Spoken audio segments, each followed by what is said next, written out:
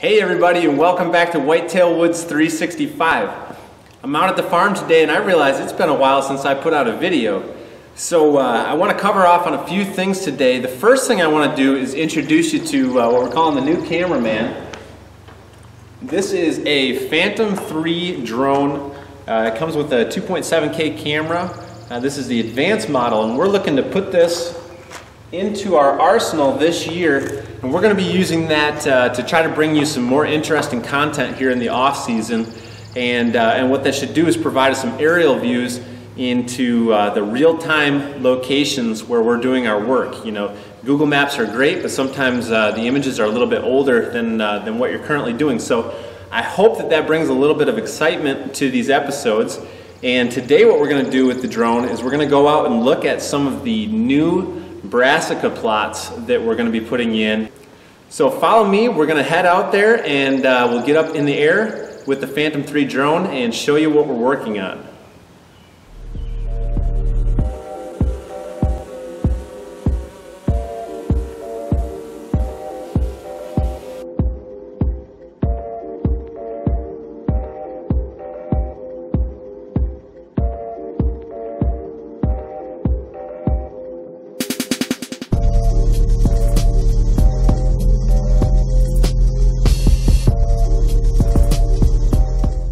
Right, so we're on top of uh, what we call the pasture hill. And this is a spot where we've been working all year. You've seen us in here doing uh, the new Cabela's clover food plot. And we kind of talked about one of the reasons that we were doing that is to try to build up the soil here. Now we have two problems on top of the hill. Is uh, One, the soil tends to be a little bit sandier. And two, with it being on top of the hill, it tends to be a little bit drier. The moisture content isn't as good as we'd like it for something like a brassica, which really, in, in my experience, it takes a lot of water, a lot of good rainfall, and a lot of good soil moisture content to get uh, to get the big plants that you see advertised, um, for example, on a bag of Big and Beastie. You know, you want the the giant bulbs, um, and and we just haven't been seeing that over the last two years up here. Although we've been liming and fertilizing uh, the way that we should according to the soil test, it's just not quite working. And so what we're going to try to do with this clover is build up the soil. Now you can see from the aerial footage that these two plots aren't very far apart from one another. So it's not like we're uh, going to be targeting a different deer herd and, um, and really, you know, this is probably 50 yards away from one another at the most. And so our goal is really just to, uh, to match up the type of crop with the type of soil that best suits them. So on the bottom of the hill we tend to have a little bit loamier soil and it has higher moisture content and so that's going to help those brassica plants really grow big and strong and, uh, and provide a lot of tonnage into the late season, hopefully right up into about March for the deer to, uh, to dig up and eat and get some energy. Now this is just the first plot that we're changing up this year. We've, um, with some of the uh, CRP land that we're in, some of the programs have changed a little bit, and so that's given us an opportunity to do some different things there too.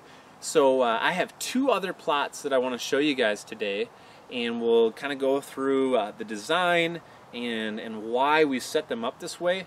Um, part of it is, uh, you know, sometimes you find yourself where you're kind of forced to do a certain thing and you have to make the best of it. Um, in this case, you know, we had two plots where, for different reasons, we've had to adjust what we've we'd like to do there. And uh, actually, I'm really excited about it. So let's go along and let's check out both of those other plots, and I'll show you what we're doing there. This is plot number two, and this looks a lot different uh, from most of the brassica plots that we've done in the past. You know, most of ours are, um, are just more like a rectangle. But uh, what you're going to see this year with these, these three plots that I'm showing you is they all kind of have one thing in common. And they're, they're long, and they all have kind of bends in the road. And uh, it's kind of doing that for two reasons. Number one, you know, based on where the, the deer decide to come across these uh, the trail crossings, I'm going to be able to put my tree stand anywhere along this edge. And that's going to give me an opportunity to adjust as they adjust their patterns and then also adjust based on the wind and so by having these longer, narrower food plots, my goal is just that I'm going to be able to shoot the entire plot from anywhere along these fence lines. Now, uh, you'll probably see it a lot better from the air here, but the, the, the turn here that we have is actually allowing us to probably get in uh, two, maybe three different family groups if we can attract them. Now uh, over to my right, there's a CRP field that we uh, just recently uh, replanted. And so it's uh, not as tall as it's going to be, but this will provide a lot of great bedding. And then down here we have some pines that we probably planted, uh, I don't know, 15, 20 years ago. And in between them, it's grown up with tall grass. And this has become a, a bedding area um, uh, for some of the bucks, and you'll see some rubs in there too. And so what I'm hoping to do is hoping to make these, uh, these deer feel comfortable coming out into this narrow pass and, and feeding kind of along the edge as they go uh, either to other bedding areas um, in the fall, you know, to check does, or as they're headed to the bean fields um, that they're eating on now, and then they'll switch back to in the, in the later season. So uh, how did we get to the point where on this particular uh, field we decided to do this? Well, I mentioned this is a, a, new CRP field and some of the rules have changed. And uh, so we can have a certain percentage in an annual food plot. It can't be a perennial. So we, uh, we took out our perennial food plot and, uh, and put back in some more um, native grasses. And, uh, and so that kind of you know, gave us this opportunity. It, it seemed like it was going to be a problem, but it actually turned out to be an opportunity to make this really cool plot.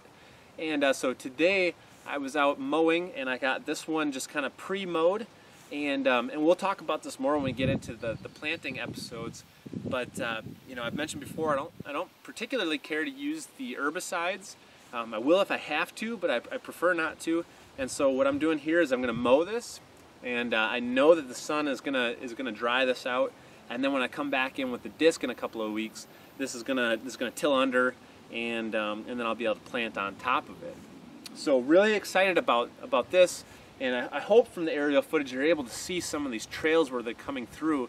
Um, but we all know that deer shift their patterns, and, uh, and I really like this because I'm going to be able to shift with them, right? And I've got a, a good vantage on, on bedding. There's a huge ag field uh, to the north here, and I'm going to be able to see it all. So this is plot number two. I'm very excited about it, and I want to get over to plot three because I almost think that this is my favorite. Um, I was really bummed out that we had to do what we had um, ended up doing here, but actually I'm the most excited about this plot out of um, all three of these. So let's head over there and we'll kind of wrap up the episode talking about uh, how that plot came to be and what the overall strategy is going to be later on this fall.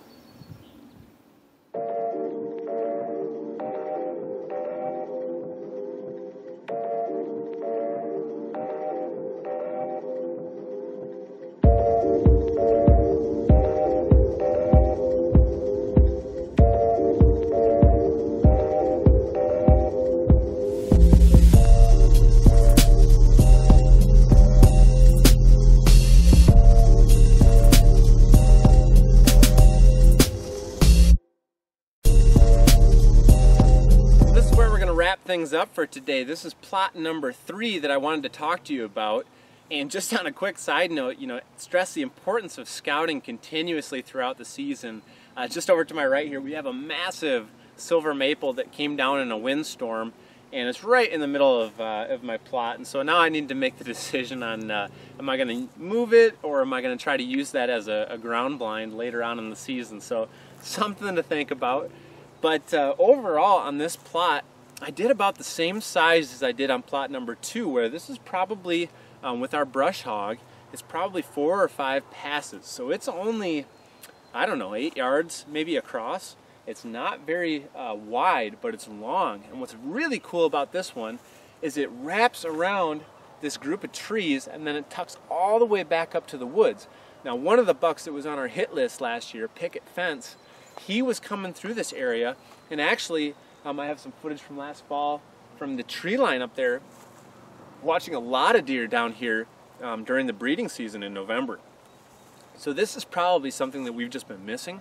We've probably missed this opportunity in the past, but what happened is um, we were doing some, uh, some, some cutting, some trimming on some trees, and we actually took them out into the field and um, we had piles of the branches that we weren't going to use for uh, our firewood.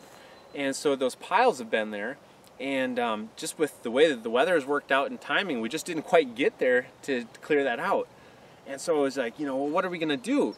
Well, it turned into an outstanding opportunity for us to take advantage of the topography. So again, it's probably just something that we've been missing, but you can see here from the drone footage that uh, the way this wraps around, and I don't know if you can quite get a feel for the, the drop in elevation, but from where I'm at to the top of the hill is probably 50 feet in elevation change. So it's, it's um, not a steep hill, but it is uh, quite a bit of a difference. And again, just like the last food plot that we were talking about, when we talk about deer family groups, you know, they don't necessarily like socializing with one another sometimes. And so this gives them an opportunity to be down here uh, or up closer towards the woods. And again, the key part here is there's a lot of great trees where I can get in a tree stand.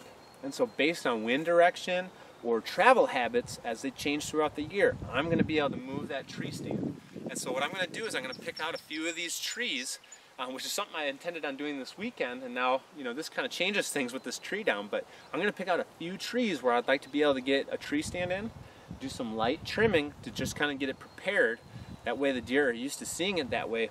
And then, based on what's happening as we get closer to the time where I'll be hunting this, I'm going to pick out that final one or two locations on here and try to capitalize on this new change to our food plots.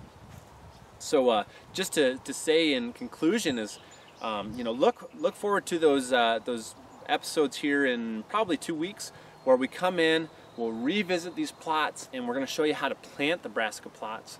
Um, but also, you know, just because something seems like maybe uh, it's not the way that you want it, it can be a blessing in disguise. So this is just another great example of how uh, we've been forced to do something. And I'll bet this fall we're going to bring you some footage and we're going to have some uh, close encounters. If not with some big bucks, I know we'll have bucks on film. So look forward to that. I look forward to, uh, to visiting that topic with you guys in a couple of weeks. It's a beautiful day. I'm going to get back to the, the last few tasks I have. But until next time, get out in the woods and enjoy nature.